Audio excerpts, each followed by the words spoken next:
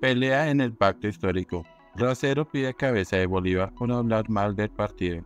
El expresidente de la Cámara, David Racero, considera que, pese a no ganar la alcaldía de Bogotá, el balance de las elecciones es positivo para el pacto. Luego de que el ahora es candidato a la alcaldía de Bogotá, Gustavo Bolívar, durante la declaración en la que reconoció su derrota, asegurara que había pedazos rotos del pacto histórico que debían recogerse.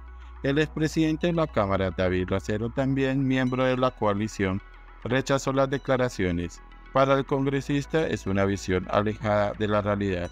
No es que esté roto, no comparto esa lectura. Es una fuerza que lleva un año y medio unificada, que está emergiendo, que ya no es marginal.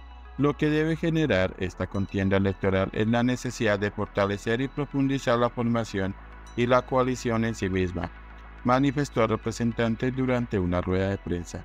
El congresista consideró también que el partido político en este momento del pacto histórico que no esté afín a su ideal pues tiene que replantearse su continuidad en el pacto.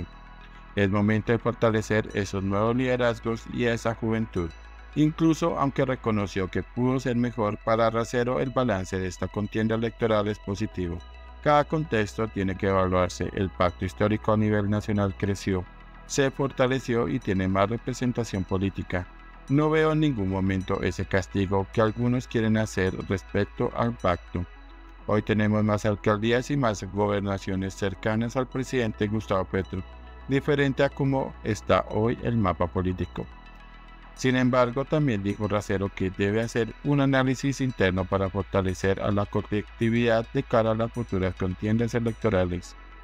La próxima será en 2026 cuando se elija Congreso y presidente y en 2028 con los sucesores de quienes fueron electos este domingo 29 de octubre.